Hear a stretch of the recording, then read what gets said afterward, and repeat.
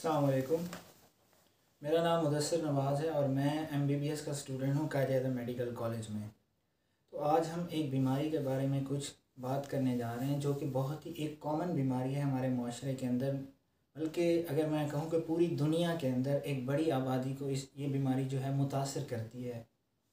और अगर इसको हम अच्छा इसका कंट्रोल कर लें, इब्तदाई इब्तदाई मराहल में ही तो हम एक नॉर्मल ज़िंदगी गुजार सकते हैं। और वो बीमारी है शुगर। आम ज़बान में हम उसे कहते हैं शुगर। तो सबसे पहले आप ये समझें कि शुगर जो है, वो बेसिकली है क्या? और इससे कौन कौन सी कॉम्प्लिकेशंस और कौन कौन से मसाइल पैदा हो सकते हैं? अब हमारी बॉडी जो है ना, वो खरबों सेल्स पर मुश्तमिल है। खरबों सेल्स मिलकर हमारी बॉडी बनाते हैं। इसकी मैं मिसाल आपको यूँ समझाऊँ कि एक इमारत होती है तो वो मिलकर बनी होती है ईंटों से कि उसमें हज़ारों, सैकड़ों ईंटें लगती हैं तो एक इमारत तैयार होती है। उन ईंटों की मिसाल है हमारे सेल्स की कि इसी तरह जिस तरह ईंटों से इमारत बनती है, इसी तरह ही हमारे सेल्स से हमारी बॉडी बनती है। और उन सेल्स का जो है एक स्पेसिफिक फ़ंक्शन है। हर सेल का एक अलग से काम है। अब उनको वो काम परफॉर्म करने के लिए एनर्जी की ज़रूरत होती है। कि जैसे हमें अपने काम करने के लिए ताकत की ज़रूरत है एनर्जी की ज़रूरत है तो हमारे सेल्स को अपने काम करने के लिए खुराक की ज़रूरत है एनर्जी की ज़रूरत है। और हमारे सेल्स जो हैं, उनकी खुराक और एनर्जी का सबसे बड़ा ज़रिया जो है, वो है ग्लूकोज़ जिसे हम आम ज़बान में कहते हैं शुगर तो अब ये जो शुगर की बीमारी जिसे हम कहते हैं, इसमें होता क्या है कि जो हमारे, जब हम कुछ खाना खाते हैं तो हमारे खून के अंदर जो है शुगर की मकदार बढ़ जाती है। जबकि हमें एनर्जी, हमारे सेल्स को चाहिए तो सबसे पहला अमल जो होता है एनर्जी हासिल करने में कि वो जो शुगर हमारे खून के अंदर ज़्यादा हो गई है, उनको किसी तरह उन सेल्स के अंदर पहुँचाया जाए और जब वो शुगर सेल के अंदर आ जाती है तो सेल फिर उसको तोड़ फोड़ करके उससे अपनी खुराक लेते हैं। ये जो सेल के अंदर शुगर को पहुँचाने का ज़िम्मा है, ये है इंसुलिन का। ये एक ऐसा मादा है जो आम हमारे हमारे जिसम के अंदर प्रोड्यूस हो रहा है। ठीक है, अब अगर किसी भी वजह से इंसुलिन जो है हमारे बॉडी में अंदर कम हो जाए, कम प्रोड्यूस होने लग जाए तो ये जो शुगर हमारे खून के अंदर जमा हुई है, ये सेल्स के अंदर नहीं जा सकेगी। और खून के अंदर जो इसकी मकदार है, वो बढ़ने लग जाएगी। और हम कहेंगे कि इस बंदे को शुगर हो गई है। तो शुगर क्या है कि शुगर एक ऐसी बीमारी है, जिसके अंदर, खून के अंदर शुगर की जो मकदार है, वो बहुत ही बढ़ जाती है। तो ये उसकी जो बेसिक मेकनिज़म है, मैंने आपको बताया कि शुगर इसलिए होती है कि अगर किसी भी वजह से इंसुलिन का जो काम है, वो कम हो जाए या ख़त्म हो जाए तो शुगर जो है वो खून से सेल्स के अंदर नहीं जा सकती, जिसकी वजह से वो खून के अंदर बढ़ने लग जाती है। इसको हम कहते हैं शुगर हो गई है। अब कुछ बातें इसमें समझने की ज़रूरत है कि शुगर जो है, जब खून के अंदर ज़्यादा हो गई है तो हम, वो हमारे गुर्दों से निकल कर हमारे पेशाब में आने लग जाती है। इसीलिए जो शुगर के मरीज़ होते हैं उनके अंदर जब हमारे जो पेशाब है, उनको टेस्ट किया जाता है चेक किया जाता है तो उनके अंदर शुगर मिलती है। और जब शुगर पेशाब के रास्ते में, पेशाब में निकलती है, गुर्दों से निकल के पेशाब में जाती है तो ये अपने साथ बहुत सारा पानी लेके जाती है। इसीलिए जो शुगर के मरीज़ हैं, उनको पेशाब ज़्यादा आता है, क्योंकि वो शुगर यूरिन के अंदर, पेशाब के अंदर शुगर होने की वजह से बहुत सारा पानी साथ जाता है, इसलिए उनको पेशाब ज़्यादा आता है। तो इसीलिए उनको जो खून है, जो उनकी बॉडी है, उस बॉडी के अंदर फिर पानी कम हो जाता है। इसलिए उनको प्यास ज़्यादा लगती है। इसलिए आपने देखा होगा कि शुगर के जो मरीज़ हैं, उनको पेशाब ज़्यादा आता है, उनको प्यास ज़्यादा लगती है। तो ये तो अलामत हैं उसकी जो आम सी लेकिन जो समझने की बात यह है कि अगर आप इब्तदाई मरहले में भी, मरहले में इस शुगर को कंट्रोल कर लें तो फिर आप ज़्यादा आपके बॉडी में मसाइल नहीं होते। लेकिन अगर आप इसको छोड़ दें तो बहुत सारे मसाइल इसके बायस जन्म लेते हैं और यहाँ तक कि ये मौत के दहाने तक इंसान को ला खड़ा करती है।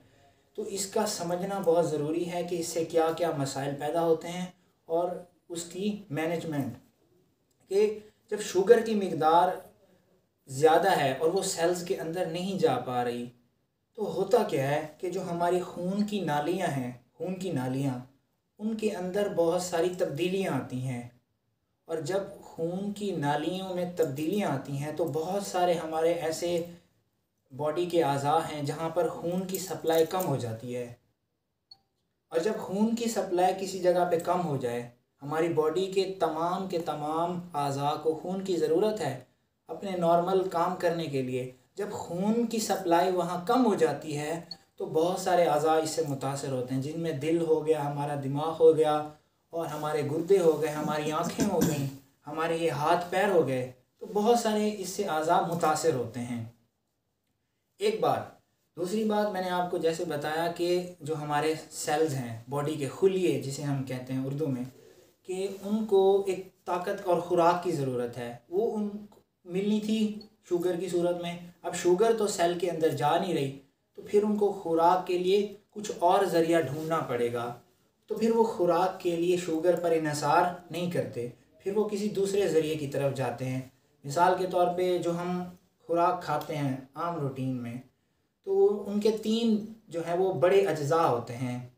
जिसे हम कहते हैं कार्बोहाइड्रेट्स प्रोटीन्स और फैट्स अब ये जो शुगर है हमारी, ये कार्बोहाइड्रेट्स हैं बेसिकली तो अब इंसुलिन के फ़ंक्शंस की कमी की वजह से सेल जो है वो इस्तेमाल नहीं कर पा रहे कार्बोहाइड्रेट को। तो बाकी फिर वो क्या इस्तेमाल करेंगे? प्रोटीन्स इस्तेमाल करेंगे और फैट्स इस्तेमाल करेंगे।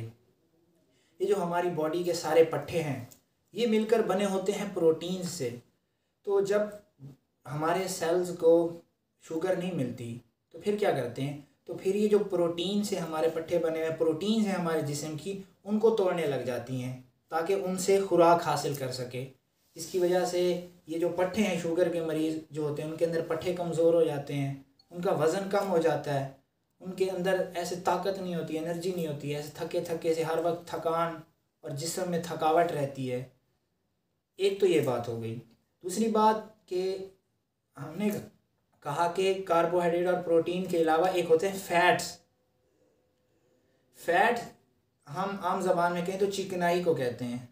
तो हमारी बॉडी फिर जब कार्बोहाइड्रेट्स या शुगर वगैरह उसको एनर्जी के तौर पे नहीं मिलती इंसुलिन के फ़ंक्शन की कमी की वजह से, फिर वो फैट्स को भी यूज़ करते हैं एनर्जी के तौर पे। एक प्रोटीन को करते हैं, एक फ़ैट को करते हैं।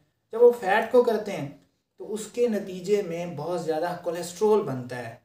और वो कोलेस्ट्रोल क्या करता है? हमारे खून की नालियों में आके जमा हो जाता है। और खून की नालियाँ जो हैं वो, उनका जो ऐसे सुराख है, वो बारीक हो जाती हैं, वो बारीक हो जाती हैं, जिनकी वजह से आगे खून की जो सप्लाई है वो कम हो जाती है। और इसके बायस हार्ट अटैक के चांसेस बहुत हद तक बढ़ जाते हैं। ब्लड प्रेशर के चांसेस बहुत हद तक बढ़ जाते हैं। और किडनी फेलियर, गुर्दे फेल होने के चांसेस बहुत ज़्यादा बढ़ जाते हैं। यहाँ तक कि किताबों में लिखा हुआ है कि जो चवालीस फ़ीसद मरीज़ हैं गुर्दे फेल होने के यानी अगर हम देखें, सौ मरीज़ हैं गुर्दे जिनके फेल हो गए, सौ मरीज़ों के तो देखें कि उनमें जो चवालीस मरीज़ होंगे, उनके गुर्दे शुगर की वजह से फेल हुए हैं, कि शुगर उन्होंने कंट्रोल नहीं की, और वो बढ़ते बढ़ते बढ़ते इस हद तक पहुँच गई कि उनके गुर्दे फेल हो गए। इसकी वजह से आँखों की बीमारियाँ होती हैं, और ब्लाइंडनेस हो जाती है, नज़र आना बंद हो जाता है इसकी वजह से, अगर आप इसको अनकंट्रोल छोड़ दें तो। और दूसरा एक बहुत ही आपने तजर्बे में भी आपके आया होगा मुशाहे में आया होगा कि इनकी वजह से गैंग्रीन होती है, ख़ास तौर पे पैरों में। जब शुगर आपकी अनकंट्रोल होती है और खून के अंदर बहुत ज़्यादा उसकी मकदार होती है तो जो हमारे ये टांगों वगैरह और पाँव पे स्पेशली बहुत सारे इन्फेक्शन होते हैं और बाज़ अवत वो इन्फेक्शन इतने बढ़ जाते हैं कि बाज़ पाँव काटना पड़ता है या टांगें काटना पड़ती हैं ये उस इन्फेक्शन की वजह से, अगर आपने उसको कंट्रोल नहीं किया तो इसमें दिल की बीमारियाँ, दिमाग की इससे मुतासर होता है, हमारे गुर्दे इससे मुतासर होते हैं, आँखें मुतासर होती हैं, और आँखें मुतासर होती हैं गैंग्रीन हो जाती है, और इसके अलावा और भी बहुत सारे मसाइल हैं जो शुगर के बायस जन्म लेते हैं। तो ये कोई एक नज़ले बुखार जैसी बीमारी नहीं है, बल्कि पूरे के पूरे जिसम को ये अफेक्ट करती है। अगर इसका बर वक्त कंट्रोल कर लिया जाए तो आप एक नॉर्मल लाइफ गुजार सकते हैं। और उसकी सबसे बड़ी मिसाल वसीम अक्रम है। और लेजेंड कि उनको जवानी में ही डायग्नोस हो गई थी कि शुगर है, लेकिन वो फिट अभी भी फिट हैं। वजह ये कि उन्होंने कंट्रोल किया है।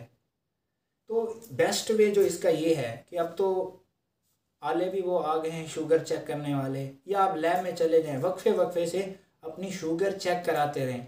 ये हमारा अजीब एक जहन बना हुआ है कि हम चेक नहीं कराएँगे और जी हम नहीं चेक कराएँगे। क्यों भाई? यार कोई बीमारी निकल आई। भाई निकल आएगी तो पहले पता चल जाएगा ना। वो जब एंड स्टेज पे आ जाती है, हम फिर जब मजबूर हो जाते हैं कुछ करने के, फिर हम कहते हैं, जी, वो, ये तो मसला हो गया। तो अपनी शुगर वक्फे वक्फे से चेक कराते रहें। और एक जो आम इंसान है, उसके अंदर खाली पेट आप चले जाएँ लैब में, वो शुगर आपका चेक करके बता देंगे। एक सौ सौ एक सौ दस तक होनी चाहिए शुगर इससे ज़्यादा नहीं होनी चाहिए। अगर इससे ज़्यादा आपकी शुगर आ रही है खून के अंदर तो आपको फ़ौर डॉक्टर से रबता करना चाहिए। और ये बहुत ही बुरी बीमारी है जो इंसान को मौत के दहाने तक लेकर जाती है। इसीलिए मैं, इसीलिए इस पर बहुत ज़्यादा तवज्जो की ज़रूरत है कि आप चेक कराते रहें कि कहीं मुझे तो ये बीमारी नहीं है। और अगर आपकी फैमिली में भी ये बीमारी पहले से है फिर आपको और ज़्यादा इस पर कंसर्न शो करना चाहिए। शुक्रिया।